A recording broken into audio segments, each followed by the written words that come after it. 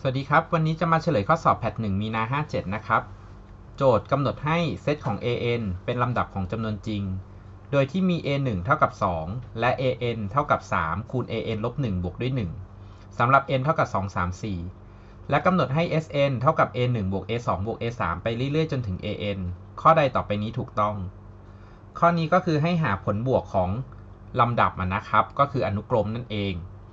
ทีนี้ถ้าให้หาอนุกรม เราจะต้องรู้ก่อนว่าตัวนี้คือลำดับอะไร เราเลยลองมาไล่นะครับ เนื่องจากเขาไม่ได้บอกว่าเป็นลำดับเลขคณิตเลขาคณิตอะไรมา a 1คือ 2 แล้ว an มีค่าเท่ากับ 3 an ลบ1แล้วบวกด้วย 1 เพราะฉะนั้นถ้าพี่แบงค์อยากจะไล่เลขคือถ้าหา a 2ก็แทน 2 เข้าไป ก็เลยกลายเป็น2ลบ1ก็เลยเหลือ 1 นะครับ ตัวนี้ก็คือ 3 คูณ 2 แล้วบวกด้วย 1 ซึ่งก็คือเท่าไหร่ครับ ก็คือ 7 ถ้าอยากหา a 3ก็คือแทน n เป็น 3 ลงไป ก็กลายเป็น3ลบ1ก็คือเหลือ 2 นะ a 2บวก 1 ก็คือ 3 คูณ 7 แล้วบวกด้วย 1 ซึ่งก็คือ 22 พอ n เป็น 4 แทน 4 เข้าไป a 4ก็เลยมีค่าเท่ากับ 3 คูณ a 3นะครับ แล้วบวกด้วย 1 ก็เลยกลายเป็น 3 คูณ 22 แล้วบวกด้วย 1 ก็คือ 67ท่านี้ถ้าพี่แบงค์ลองเอา 2 7 22 แล้วก็ 67 ลองมามองหาความสัมพันธ์ดู สิ่งที่เกิดขึ้นคือ ตัวเนี้ยมันเหมือนบวก 5 มา บวก 15 แล้วก็บวก 45 แต่2ตัวเนี้ย หรือความสัมพันธ์ตัวเนี้ยมันเหมือนกับว่ามันคูณ3มมาเรื่อยๆเลยปะครับ แปลว่ามันมีทั้งผสมทั้งบวกทั้งคูณน่ะ ซึ่งเราก็ไม่รู้จักว่ามันคือลำดับอะไร อนุกรมอะไร แปลว่าตัวเนี้ยเราทำต่ออะไรไม่ได้ มันไม่ได้มีความสัมพันธ์ในเชิงของตัวเลขที่เป็นผลสำเร็จออกมาแล้ว ทีนี้สิ่งที่เพียงจะทำเพียงจะลองอีกอย่างหนึ่งคือ ไม่ลองเอาตัวเลขที่เป็นผลสำเร็จมาใช้ แต่จะลองเอาตัวที่ เป็นวิธีคิดนะครับ มาลองใช้ดู ก็คือเอาก้อนนี้มาแทน a 2ตัวนี้ มันก็เลยกลายเป็น 3 คูณกับ 3 คูณ 2 บวก 1 แล้วบวกด้วย 1 อยู่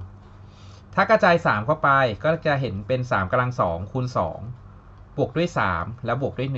1 แล้วก็เอาตัวนี้มาแทนที่ a 3ก็เลยกลายเป็น 3 คูณ 3กำลัง 2 คูณ 2 บวกด้วย 3 บวกด้วย 1 แล้วก็อย่าลืมบวก 1 ตัวหลังนะครับ เพราะฉะนั้นกระจายเข้ามาก็คือ 3กำลัง 3 คูณ 2 บวกด้วย 3กำลัง 2 บวกด้วย 3 แล้วก็บวกด้วย 1 ทีนี้ถ้าหากว่าพี่แบงค์ลองเอามาเขียนไล่เลขดูนะครับ a 1 คือ 2 a 2 คือ 3กำลัง 2 คูณอ๋อขอโทษครับ 3 คูณ 2 แล้วบวกด้วย 1 a 3คือ3กำลัง2คูณ2บวกด้วย 3 บวกด้วย 1 a 4คือ3กำลัง3คูณ2บวกด้วย 3กำลัง2บวกด้วย 3 แล้วก็บวกด้วย 1 ถ้าเป็นอย่างนี้สิ่งที่เพียงจะคิดเพียงมองเห็นว่าตัวนี้มี 1 มี 3 มี3กำลัง2แล้วการที่เป็น3กำลัง3คูณ2อย่างเงี้ยเราสามารถบอกได้ว่ามันคือ3กำลัง3 2 ตัวบวกกันอยู่ปะครับ เพื่ออะไรถ้าพี่แบงค์แตกตัวนี้ออกมา มันจะได้เอามาเข้าชุดกับพวกนี้ครับ มันจะได้เรียงลำดับมาเป็นเหมือนกับเป็นลำดับเลขาไหมนะครับ ถ้าพี่แบงค์ลองเอามาเขียนดู อย่างตัวนี้พี่แบงค์ก็บอกว่าโอเค3คูณ2มันก็เกิดจาก 3 บวกด้วย 3 บวก 1 ถ้าตัวนี้ 3กำลัง2คูณ2ก็คือ 3กำลัง2บวก3กำลัง2แล้วบวกด้วย 3 แล้วบวกด้วย 1 ถ้าตัวนี้เพียงก็บอกว่ามันคือ3กำลัง3บวก3กำลัง3บวกด้วย3กำลัง2บวกด้วย 3 แล้วก็บวกด้วย 1 ทีนี้ถ้าเรามองเห็นอย่างนี้นะครับ สิ่งที่เกิดขึ้น มองเห็นว่า an เนี่ยครับ ถ้ามองไล่จากชุดนี้ จากเลข 4 มันกลายเป็นเลข 3 จากเลข 3 ตัวนี้กลายเป็นเลข 2 แปลว่าจาก an มันต้องเป็น 3กำลัง n ลบ1 นะครับ เหมือนมันน้อยลงไป 1 แล้วก็บวกกับ 3กำลัง n ลบ1บวก 3กำลัง n ลบ2บวกไปเรื่อยๆ จนถึงบวก 1 นะครับ ถูกไหมเพราะฉะนั้นในที่นี้ จริงๆแล้วมันคือบวก 3 แล้วก็บวก 1 อย่างนี้ถูกไหมครับ โอเค เพราะฉะนั้นถ้าหากว่า an เป็นแบบนี้ ชุดตรงกลางตัวเนี้ย พี่แบงค์มองเห็นว่าถ้าเราเรียงลำดับจาก 1 ขึ้นมา มันก็จะกลายเป็นอนุกรมเลขาคณิตปะครับ ถูกไหมถ้าเรียงลำดับใหม่ โดยที่มันเริ่มต้นจาก 3กำลัง0ไปจนถึง 3กำลัง n ลบ1นะครับ เพราะฉะนั้นพี่แบงก์ก็จะใช้สูตรของอนุกรมเลขาคณิต ซึ่งสูตรของมันคือ ถ้าลองทวนสูตรนิดนึงนะครับ Sn ของอนุกรมเลขาคณิตคือ n 1คูณ1ลบ r ยกกำลัง n ส่วนด้วย1ลบ r แปลว่าตัวนี้คือ 3กำลัง n ลบ1 a 1คือ 1 คูณ 1 ลบ r ยกกำลัง n ส่วนด้วย 1 ลบ r นะครับ เพราะฉะนั้นพอพี่แบงค์คิดเลขตัวนี้ออกมา มันก็คือ 3กำลัง n ลบ 1 เนื่องจากตัวนี้ออกมาได้ลบ2ถ้าขยับลบขึ้นไปข้างบน มันก็เลยกลายเป็น 3กำลัง n ลบ1ส่วนด้วย 2 อย่างนี้นะครับทำให้ข้างบนมันสลับที่เอาลบจากข้างล่างขึ้นไปคูณข้างบนแทน ดังนั้นตัวนี้ 3กำลัง n ลบ1อยู่จริง ๆ ก็คือส่วน 3 แบบนี้ปะครับ การที่ยกกำลังติดลบเนาะแล้วถ้าพี่แบงค์ทำคอรนอขึ้นมาก็คือกลายเป็น 2 คูณกับ 3กำลัง n บวกกับ 3 คูณกับ 3กำลัง n ลบกับ 3 ส่วนด้วย 6 เพราะฉะนั้นก็คือ 5 คูณ 3กำลัง n ลบด้วย 3 ส่วนด้วย 6 นี่คือ an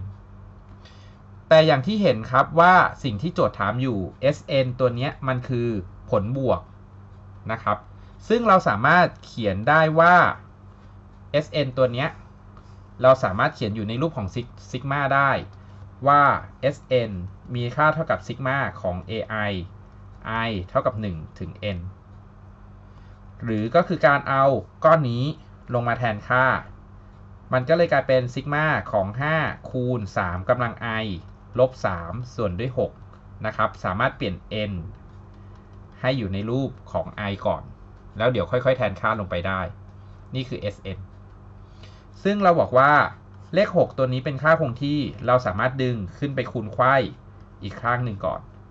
กระจายซิกมาซิกมาสามารถกระจายผลบวกผลลบได้ ก็เลยกลายเป็น 5 คูณ 3 ยกกำลัง i ลบด้วยซิกมา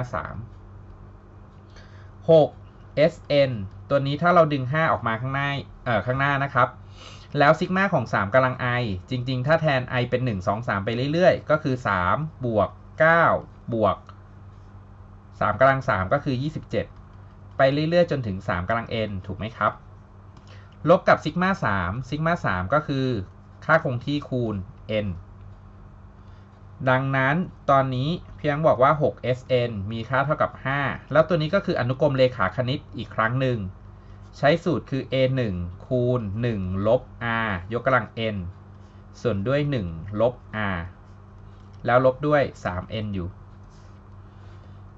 ดังนั้นตอนนี้เพียงก็บอกว่ามันก็คือ 6sn นะครับ มีค่าเท่ากับ 15 จริง ๆ ตัวนี้ก็คือลบ2เอาลบขึ้นไปคูณไขว้เอ่อคูณคูณขึ้นไปที่ข้างบน ก็จะสับที่ตัวนี้คือ 3กำลัง n ลบ1แล้วหารด้วย 2 แล้วก็ลบกับ 3n ถ้าพี่แบงค์เอาแม่ 3 ตัดตลอด ตัวนี้ก็จะเป็นอย่างนี้ แล้วเอา 2 คูณตลอด ตัวนี้ก็คือ 4sn มีค่าเท่ากับ 5 คูณกับ 3กำลัง n ลบ 1 แล้วก็ลบกับ 2n ป่ะครับ ดังนั้นถ้าหากว่าพี่แบงค์กระจาย 5 เข้าไป ก็คือกลายเป็น 5 คูณ3กำลัง n ลบ 5 แล้วก็ลบ 2n ป่ะครับ เพราะฉะนั้นคำตอบของข้อนี้ มันตอบช้อย4นะครับ ก็รูปก็ตรงตัวนะ ข้อนี้ค่อนข้างยากเป็นลำดับที่ต้องมองโดยใช้ลูกเล่นว่าไม่ได้ไปมองที่ผลสำเร็จ มองจากการที่เราตัววิธีคิดระหว่างทางมาแทนค่า แถมตอนตัวเนี้ยพี่แบงค์ให้ลูกเล่นอีกอย่างหนึ่งคือแบงค์มองว่าถ้าเราแทนค่า มันคงจะไม่โอเค พี่แบงค์แตกตัวออกมาเป็น 2 ตัว เพื่อที่จะมองหานะครับ โอเค ข้อนี้ตอบข้อ 4 นะครับ